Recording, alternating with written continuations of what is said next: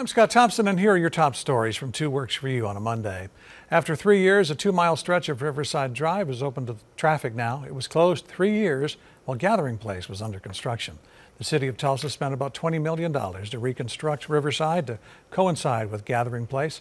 A ceremony marking its opening was held at 8 o'clock this morning. A teenager remains in critical condition after he was shot in the face overnight. We were first on the scene at Charles Page Boulevard and South 49th West Avenue. This happened just before midnight. Two people were taken into custody for questioning, but no arrests have been made so far.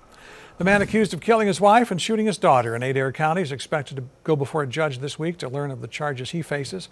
Deputies arresting 28 year old Aubrey Johnson after a two day manhunt.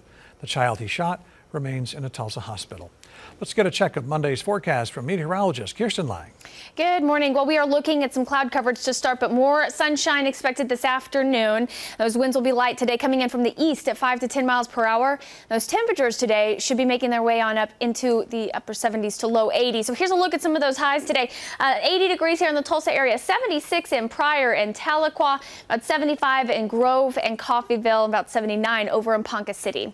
Overnight, still quiet with partly cloudy skies as we drop back down into the 50s and 60s. So another cool and comfortable start for our Tuesdays expected for us here.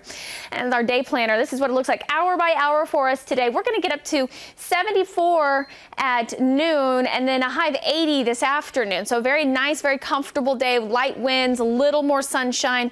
And for the rest of the week, those temperatures warm up. We'll get back up into the upper 80s as we head towards the weekend. Overnight lows will remain in the 60s as we head over the next seven days as well.